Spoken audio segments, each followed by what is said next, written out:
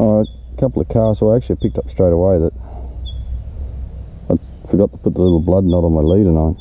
So I just, and I, and I realised I got no leader. So I thought I'll start at the beginning. First of all, I'm using a Tiemco Cicada with a two drop shot hook set up in it.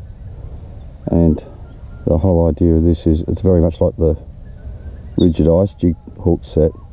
But because they can move, if one pins, the other pins, it's not pressure against each other, they'll hold. So that's the rig. 20 pound leader and a poor leader knot and I didn't bring any other leader line with me. I only got a short little bit of it. That's all you need. Now I'm using a, a, a Storm uh, Mojo. Most beautiful little casting rod. And uh, and the Kuma reel with 20 pound Shimano braid on it. Now this rod here has got little tiny micro guides. So not many knots will work and I need a strong knot. So once I started using the micro guides I realised I, I had to have I'm so blind I went I missed the hole. Once I started using micro guides I realised I had to have a, a leader knot that was a single knot not one knot to another knot. So this is how I've done it or this is what I come up with.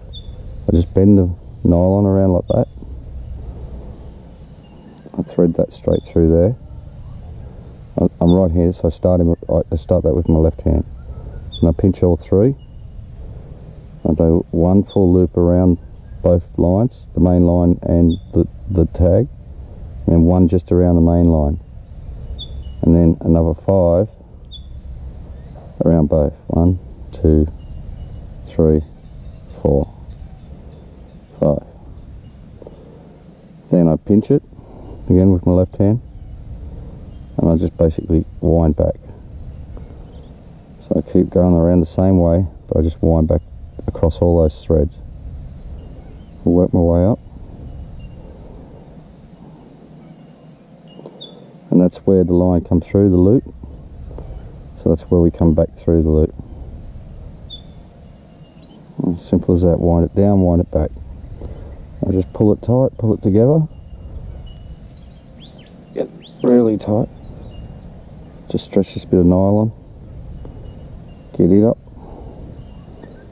And then you have the knot now what happened with my last knot I forgot to do this on the top. Just get the braid. Just, just a blood knot over it. And that stops that from unraveling. That's the knot now important things with the trimming. Actually got an old razor. I find better because my eyesight's bad. And I don't look after the scissors well so I just put that down there. Cut that off.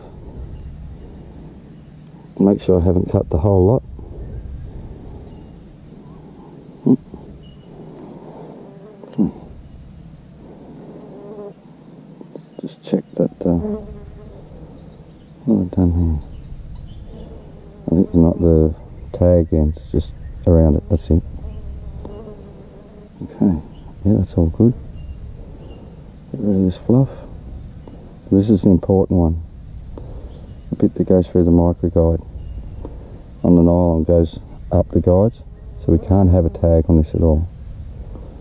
So that's why I use a razor instead of scissors, because I want to get right down there, as close as I can and chop. And the whole idea of this knot is is no slippage. So it doesn't matter how small the knot is if it won't slip a fraction I can keep a little knot and super strong and that will go through my micro guides that's how we or how I do it. You know I'm rigged to roll now